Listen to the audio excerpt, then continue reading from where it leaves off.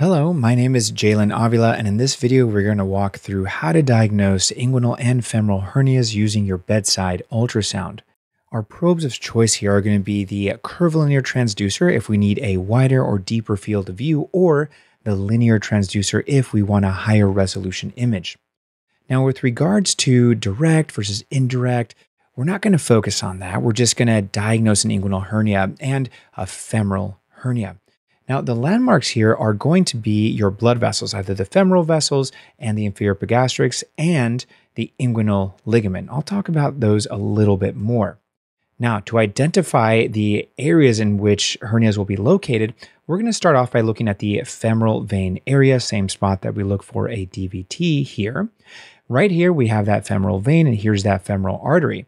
And as we move up and medial, we are going to track the femoral vessel, and this is to find the inferior epigastrics, which are our other landmark.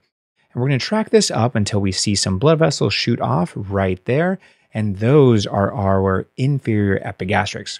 So the combination of looking for those two vessels as well as knowing that the inguinal ligament attaches from the ASIS to the pubic symphysis will give us our landmarks.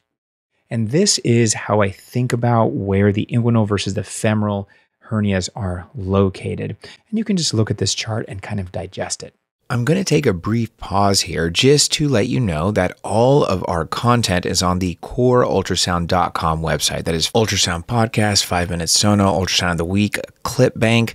And we also have our courses page where we have the core ultrasound fundamentals and core ultrasound question bank, where you have 3,200 questions with feedback, including narrated videos explaining the question.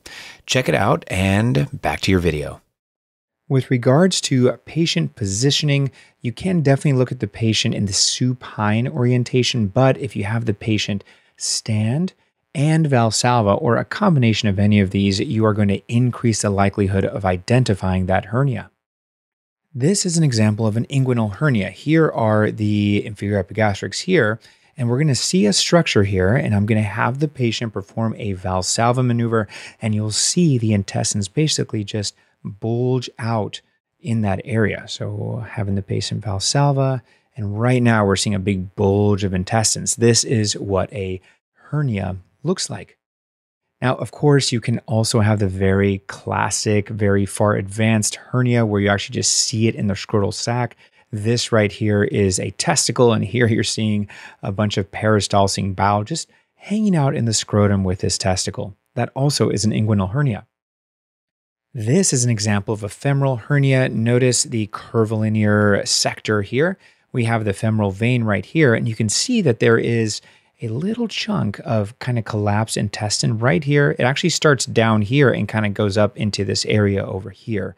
And this patient had this out. It was uh, reducible, but you can see it even without any special maneuvers right here. Little chunk of intestine right here, right next to those femoral vessels. Here's another example of a femoral hernia.